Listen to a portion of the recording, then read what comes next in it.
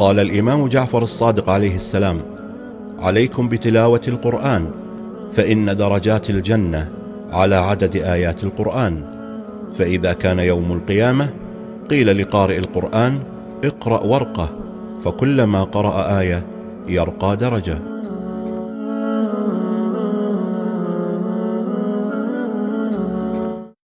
كما لا يخفى عليك أيها المشاهد العزيز أن قراءة القرآن دون تدبر وتأمل.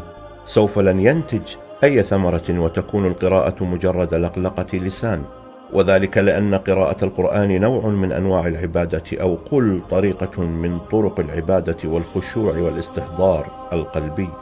والتدبر والتأمل في العبادة أمر ضروري لتحقيق الهدف الأساس وهو القرب الإلهي.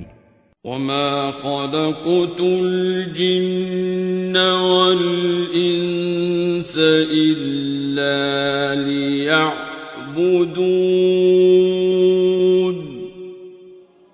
ذكر المفسرون في تفسير هذه الآية قيدا مهم وهو المعرفة فالعبادة الحقيقية دون معرفة لا تتحقق.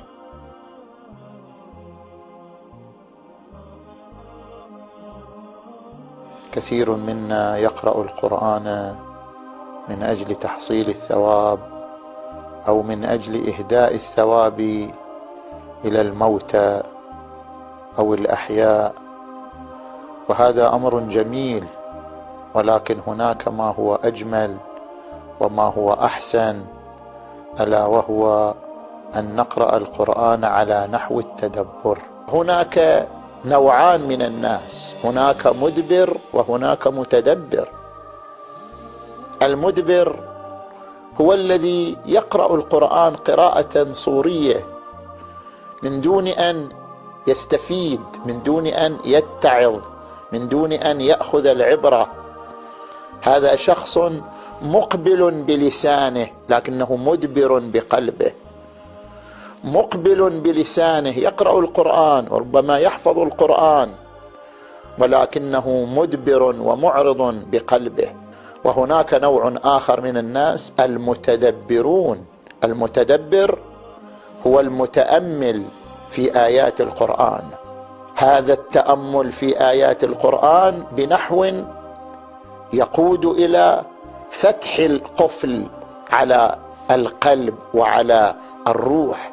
أفلا يتدبرون القرآن أم على قلوب أقفالها؟ إذا تأملنا في تدبير القرآن لآياته ولحقائقه كان ذلك تدبرا.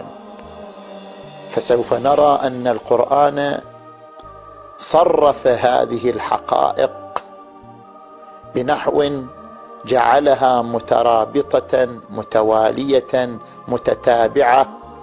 يفسر بعضها بعضا ويكمل بعضها بعضا بنحو متناسق لا يصدر إلا من الحكيم تبارك وتعالى. فهل نحن مدبرون أم نحن متدبرون؟ المدبر من يقرأ القرآن هذه القراءة الصورية. وقلبه آثم معرض والمتدبر من يدبر نفسه بتدبير القرآن من خلال تحزين النفس واستثارة الأمراض والأوبئة لتعالجها بالقرآن. اعرض نفسك على القرآن فسوف, فسوف تكون متدبرا بالقرآن الكريم وفي القرآن الكريم.